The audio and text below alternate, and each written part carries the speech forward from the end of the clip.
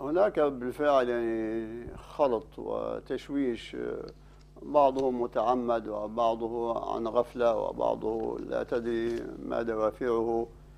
آه، عقوبة الجنات لابد أن نعرف حقائق لابد حقائق مسلمة ليس فيها اجتهاد وليس فيها اختلاف بين العلم. عقوبة عقوبة الجنات هذا يعني مطلب شرعي وإنساني وأخلاقي وقانوني فردع البغاة وردع الجنات هذا لا يعني يلتبس بحقن الدماء ولا بالمصالحة. فكما أن آه، الحفاظ أو حقن الدماء والحفاظ على الأرواح هو من مقاصد الشريعة وكلياتها الضرورية. فكذلك نجد القرآن ومقاصد الشريعة وكلياتها تأمر بالقتال وقاتلوا في سبيل الله الذين يقاتلونكم. أذن للذين يقاتلون بأنهم ظلموا وإن الله على نصرهم لقدير. وقاتلوهم حتى لا تكون فتنة ويكون الدين لله. عندما يأمر الإسلام بالجهاد معناه هناك في أرواح من المؤمنين ستزق في أرواح تضيع لكن هناك مقصد وهدف أعلى يحققه القتال حتى وإن ضاعت الأنفس لأن يترتب عليه بعد ذلك الأمن والرحمة والطمأنينة والعدل والإحسان لكل الخلق نعم. فالقتل أحيانا يكون مطلوبا لأنه لا تكون هناك راحة للناس ولا استقرار للناس إلا عن طريقه ولذلك يقول النبي صلى الله عليه وسلم أمرت أن أقاتل الناس حتى يقولوا لا إله إلا الله. هذا أمر بالقتل. وآيات القرآن أيضا تأمر بالقتل في مواطن. أمر الله تبارك وتعالى بقتل البغاة. يعني آه، لما يعني فئتان من المسلمين يعني هناك فئة باغية تقوم ويطلب منها أن ترجع ولكن القرآن قال فقاتلوا التي تبغي أمر بالقتال نعم. فقاتلوا التي تبغي حتى تفيها إلى أمر الله آه، هناك أيضا النبي صلى الله عليه وسلم أمر بقتال الصائل الذي يأتيك ليخرجك من بيتك ويأخذ مالك فقال النبي صلى الله عليه وسلم من قتل دون ماله فهو شهيد ومن قتل دون دمه فهو شهيد ومن قتل دون عرضه فهو شهيد. هذا يعني ليس هناك مصالحة هناك قتل. إنسان يأتيك ليخرجك من بيتك ليأخذ مالك ليأخذ سيارتك ليتعدى عليك. فأنت ماذا تفعل؟ هل تقاتله أو تقول لا أنا أريد حقن الدماء اقتلني. ويأتي ابنك ويقتله وتأتي زوجك ويقتلها ويأتي جارك ويقتله. هل هذا هو الشرع؟ هل هذا هو الدين؟ أنا أريد أن أسأل من يقول هذا الكلام الخاطئ الآن ويقول لكل من يأمر بقتال البغاة والمجرمين والجنات يقول هذا يدعو ويحرض على القتل وعلى سفك الدماء وأنه لا يحب الصلح بين المسلمين. أقول له بالله عليك لو أن هذا الباغي في بنغازي وإلا في آه، طريق الساحي في ورشفانة أتى إلى بيتك وأخذ ابنك ماذا تصنع؟ لأن أبناء المسلمين مثل ابنك كيف يفترض أنك أنت تتصرف؟ لو أتى وأخذ ابنك ماذا ستقول؟ هل تقول أصالحه أو أدافع عن نفسي وأقاتله؟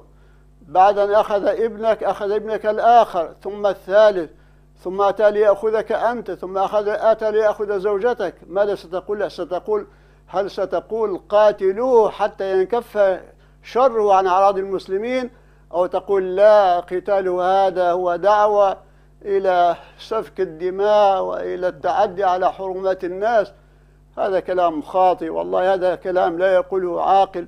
نحن لا يعني ندعو الناس إلى أن يعني يتخاصموا وألا يتنازعوا وألا يتقاتلوا من فراغ. نحن نريد أن نقاتل الظالمين واللصوص وقطاع الطرق.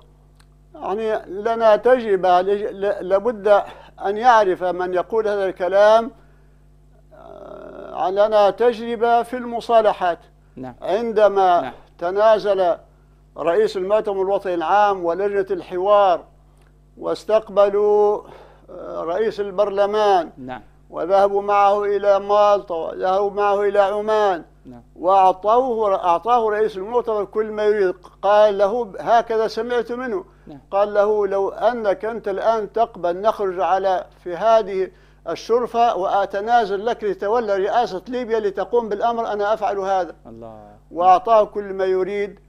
ووعده رئيس البرلمان وعودا كوعود عرقوب مواعيد عرقوب أخاه يثرب فرجع إلى طبرق وعندما أملى عليه حفتر وجنده وعصابته كلاما آخر تنصل من كل كلام قاله. نعم. أليست هذه مصالحة أليست هذه محاولة حقيقية للمصالحة من المؤتمر ومن حزب المؤتمر ومن جماعة المؤتمر؟ نعم نعم. هل قصروا في المصالحة؟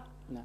ما قصروا لكن الطرف الآخر لا يريد مصالحة يريد قتلا يريد أن ير- أن يرجع بليبيا إلى عهد الظلمات إلى الاستبداد إلى الأيام السوداء أيام القذافي أيام المخابرات وأيام ال- ال- الأمن الداخلي وأيام التعذيب وجزء سجن جرناد جرناد الآن يحدثكم ويخبركم. نعم. هل نحن قصرنا في طلب المصالحة يا من تشتمون من يق... من يدعو إلى ردع المجرمين؟ هل نحن قصرنا في المصالحة؟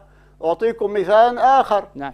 عندما استولى حفت لا ليس حفت الجدران المجرم اللص نعم. سارق مال ليبيا لمدة أكثر من عامين الآن ذهب أعضاء المؤتمر وعملوا لجان متعددة واتصلوا به وبجماعته وبقبائل هناك وفعلوا كل ما يقدرون عليه نعم. ولكنك إذا أنت أكرمت الكريم ملكته وإذا أنت أكرمت اللئيم تمرد فظن أن هذا هو ضعف منهم وصار آه، يعني يبتز وكل مرة يطلب يقول أعطوني 200 مليون أعطوني 300 مليون كل ما دفعوا إليه من مال من خزينة الدولة يقول هل من مزيد. وهو لا يزال الآن يخرب نعم. الثورة الرئيسة حقيقية الرئيسة نعم للشعب الليبي ومنعهم قوتهم وجعل الدولار يصل إلى خمس دولارات وجعل العشر دينارات والعشرين دينار لا تستطيع أن تأكل بها لقمة عيش الآن في ليبيا حسب الله وكذلك نظراء في آه، في الرياينة نعم. مجرمي الزنتال الذين يستولون الآن على 400 ألف برميل كل يوم نعم. أكثر من سنتين. نعم. هذا غصب. هؤلاء لصوص هؤلاء قطاع طرق. هؤلاء تقول مصالحة ما صالحني معهم. أنا أدخل معك يا من تتكلم وتنشر البوستات وتزعم أن من يقولون قاتلوا المجرمين وأقيموا الحدود وأقيموا القصاص أنهم دمويون وأنهم لا يدعون لا يريدون خير بليبيا. نعم. خلص لي هذا النفط من هؤلاء الناس. أكبر. أكثر من عامين الآن أكثر من 100 مليار. نعم. دين دولار ولا دينار ولا كذا الآن ضاعت على ليبيا. نعم. لماذا تكتمون الحق وأنتم تعلمون؟ اتقوا الله في أموالكم واتقوا الله في بلادكم واتقوا الله في أهليكم.